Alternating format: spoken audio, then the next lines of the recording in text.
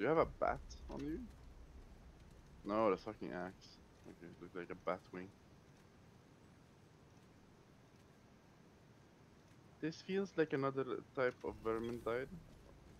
Because it kind of is. But with bigger guns and Dark Souls mechanics. Hands up! Thank you. Just up and up. Let's go. I'm a bit late to the party.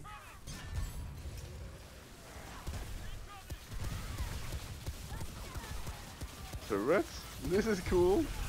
I mean, you Yeah. can go full pets, by the way. You can go heavy on pets. if you Turrets count to. as a pet, which is kind of interesting. Here it comes. Dodge! Yes, I did it. Yes. Even I managed to do it this time. Jesus. Displaying. Yeah. I'm keeping as many as I can over here. Because I want to slap him.